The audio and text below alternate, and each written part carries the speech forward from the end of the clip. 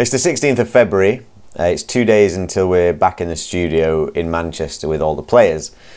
And I'm pretty much there with the arrangements. I've been tweaking them for the last couple of days, um, changing the order of some of the tunes and uh, altering some of the orchestration and arrangement. And now I'm kind of at probably the most boring stage, but but it's such a necessary kind of part of it, really. And so I'm going through and just getting the parts all neat. Um, so I thought it might be interesting just to show where we're at now with a kind of finished suite. Um, so this is the Eminem suite.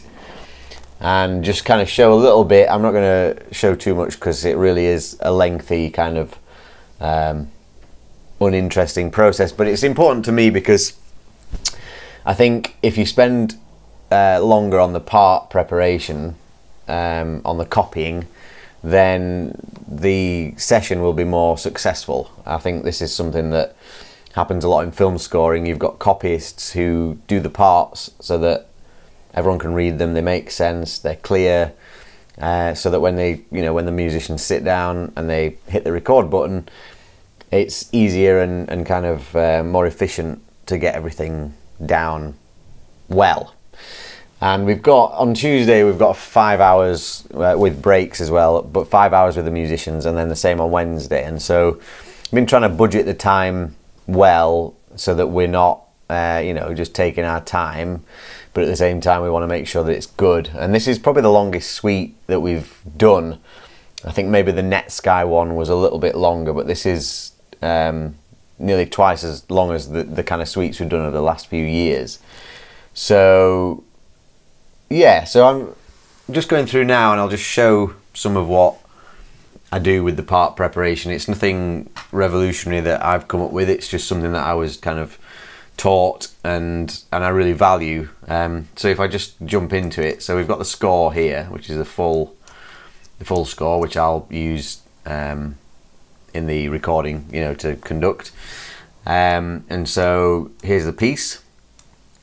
Um, it's come together well. Like it, there was a stage where I was worried and, and, kind of well, not worried, but just kind of felt like maybe it was a wild goose chase.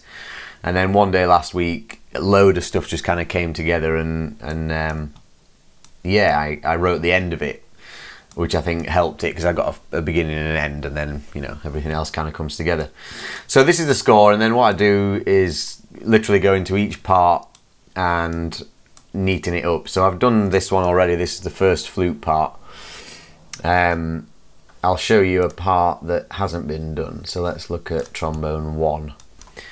So you can see there's just it's just a bit messy to look at. Like there's things like this here, which is obviously not going to be very clear for the player. They need to know the tempo. But also it's just making it look like a piece of music and so it's I kind of format it and make sure there's nice spaces between the staves things like this I might try and avoid so I'll put this one on its own line uh, same with this. And I might not do it so much with the suite but with with things where it's kind of four eight bars you know 16 bar phrases I'll put 8 or 16 on a line so that it's just visually clear. Um, there's nothing worse uh, than having kind of seven bars on a line and then the eighth bar of the phrase on the next line, if that makes sense. Um, because it, again, it's it's me meaning that now I can look at this part and it's it's clear and things are divided into sections well, um, so that you know on the first read it should be a pretty um, successful playthrough. You know. And so, uh, yeah, I'll go through each part individually. Obviously, I've skipped to the trombone here. There's things like this which I would like to neaten up um, more from a kind of OCD perspective. But again, I, I do think that, um, you know, the reason why, I mean, classical concerts, for example, but, but all live music, people, you know, dress in their concert clothes. Um, and I think in the same way, having music you know, looking professional. So you turn up to a, a, recording session or a gig, and the music is clear, and it looks like someone spent time, you know, caring about page turns and things like that. It helps you kind of get in the right mindset and in the right kind of frame of mind to do a great job. Um, so yeah, I mean that's that's kind of the main reason I do it. Um, and so yeah, but this will take me probably for this piece because it's quite a lot of pages per part. It'll probably take me a couple of hours, if not more. Um, and I won't catch everything. You know, there'll there'll be a rehearsal mark. You know, like a, a figure that'll be kind of out of place or whatever. But it's just it's just getting it from what it was. I mean, if we look at one of the string parts, for example, you know, this is a nightmare, and unfortunately, there's not kind of an automation or a plug-in to to just neaten it up. Um, or there isn't one that I know of. So if if anyone knows of one, let me know. Um, yeah, the good thing about Sibelius is it has. I mean, over the years, it's got better and better. You've got um, magnetic layout is one thing, so it'll make sure that well, it's supposed to make sure that things don't overlap. So when you when you're typing things in to the score, when you when you're writing the score, it won't put kind of a title over a a um, you know tempo or something like that.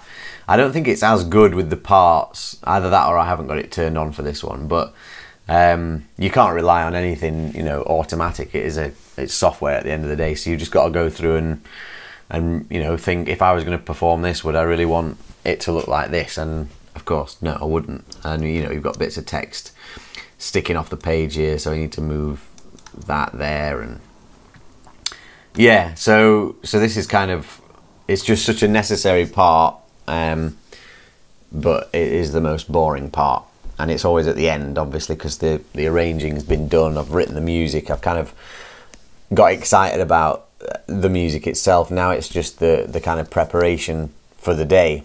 Um, and so yeah, I mean, once I've done this, I would normally print, but we're hoping to go to iPads. So most of the musicians are bringing iPads this this week, which saves a lot of paper and a lot of time as well. Because once I've done this, it's then printing all the parts, and so that'd set set off going, and then that's going to take a while, and um, and then Rhiannon often sellotapes the parts, so you've not just got loads of loose sheets of paper everywhere.